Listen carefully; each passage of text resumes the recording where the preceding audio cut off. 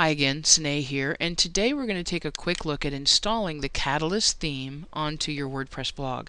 Now if you remember from a previous video, I have essentially an empty blog. I have one post, four default pages, and one category that I've created. So it is a brand new blog with essentially no content in it. So I'm going to um, install the Catalyst theme, which I have already downloaded, purchased and downloaded to my local computer. Um, the Catalyst theme comes in a bundle which you will first need to unzip. Uh, and once unzipped, upload the appropriate pieces to your uh, WordPress theme.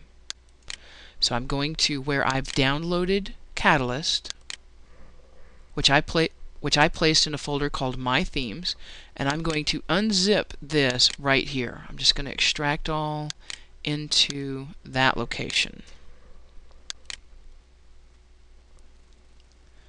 Give it a moment to unzip, and you'll notice that we now have three folders a Catalyst zip, a dynamic zip, and a folder called dynamic skins. Now when you if you purchase the bundle you get the dynamic skins. Dynamic means a series of child skins that can be layered on top of the parent theme called Catalyst. So now that they're all unzipped, I'm going to be able to use WordPress's built-in theme installation features to get them online. So I will go to Appearance, Themes, I will choose Install Themes on the second tab, and then choose the Upload option. Now the order that you do these in is important. Catalyst must be uploaded and installed before Dynamic. That is absolutely a must. So once again, I'm navigating to where I have that theme that I just extracted. Themes, my theme, and I'm going to choose the Catalyst zip file and click Install Now. Now that it's installed, I can choose Activate. Okay, and as we can see, the new theme is now activated. Now, Catalyst also works with child themes or creates a child theming option. So I'm going to now upload the second set, which is the dynamic. So once again, I'm going to click on Install Themes, Upload, and then browse to the dynamic zip file and open it. And choose Install Now. Okay, it's complete, so I'll click Activate as well here. Now, by default, you start with essentially a blank canvas. Um, it has a few options already enabled, but very, very few. So let's look at how Catalyst arrives out of the box. It is, like I said, a blank white canvas, not very much going on. Um, we have a title, which we can replace with an image. We have a tagline. We have some built-in navigation, two sidebar widget areas, and then a content area. So by default, all Catalyst themes start right here. And using the combination of core options and dynamic options, you're able to change settings which change the look and feel of the blog. Once you get one that contains all the primary elements you need, for example, if you always want to have a um, featured video in the upper right hand corner and you always want to have a rotating gallery on top of the content that is uh, displayed for your archives like your categories and your date archives then you can create all of that here and then clone your file and all new blogs blogs will contain that default content and once again, you get to all of that using the core and dynamic options and these tabs to go through and select how things behave. Now if you look below this video I'll show you a list of where you can find the how-to videos specific to Catalyst and how to go in and make changes, really make it your own.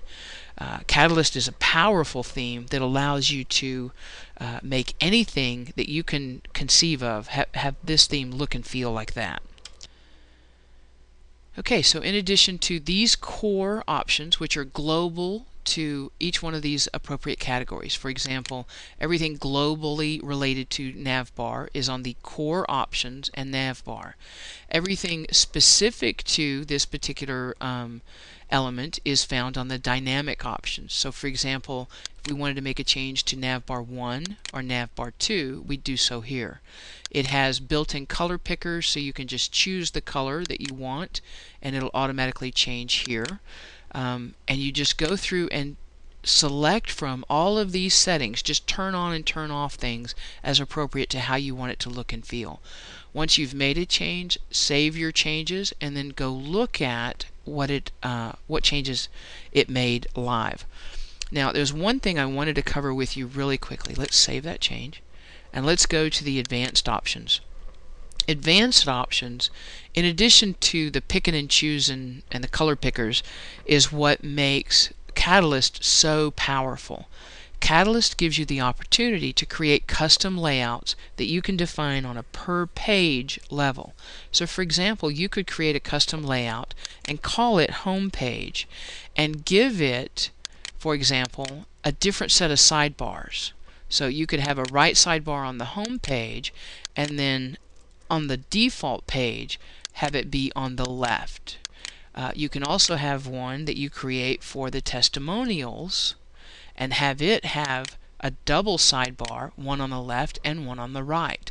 So you create your own custom layouts and save them here. In addition to that, you can create custom widget areas. Now widget areas allow you to define a portion of your blog theme that you want to make a widget. And Catalyst comes with a big list of hooked areas, that's these, that show you where these appear within a standard post. So for example, if I wanted to create a specific widget area that contained a list of um, recent posts, popular posts, and recent comments, and I wanted that to appear at the top of my blog content on my archive page, I would scroll down and choose the hook that put this before the content, give it a name, and save it I can also give it a priority, which will determine if I have two that use the same hook, which comes first. Um, and if I save this, then I have now a widget area that I can drag and drop widgets into that will appear before the post content in an area called gallery. So just to show you real quickly, if I go look at the widgets page, I now have a new set of widget areas. The default sidebar 1, the home page sidebar 1, and the testimonial sidebar 1 because those were three additional um, widget area or layouts that I chose and since testimonials had two sidebars there's both of those and then I created a widget area called gallery that will appear at the top of the post content so just like every other widget area on every other WordPress blog, these can contain anything I drag and drop in here. So all I have to do is drag and drop them. They behave like every other widget area out there. I just get to define where they appear on the blog, which again makes, in my estimation, Catalyst an ideal theme if you're going to be cloning and merging and making a lot of new themes uh, over and over. If you're an affiliate marketer or doing a lot of AdSense, Catalyst is a great theme option for that. Uh, in addition to custom layouts and custom widgets, you can also define your own custom hook box, which can contain ongoing um, HTML code. So for example, using the same hook system, I can create a hook that puts it before the header, and I give it a name, and then I can put my own HTML in here.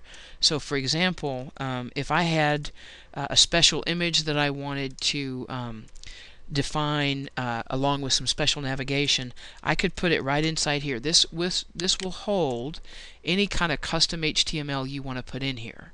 Uh, and then again, if I save this, I've created a hook box that contains this code that'll place it before the header. So it's a little more specific than using a widget because a widget is just a container that you drag and drop things into and a hook box allows you to actually define the, the code that goes here. So lots of flexibility here, lots of things that you can do. Uh, I think you'll enjoy Catalyst themes. Do check out the videos that you see listed down below to learn more about how to make Catalyst your own. As always, thanks for tuning in. This is Cenay signing off. Till next time.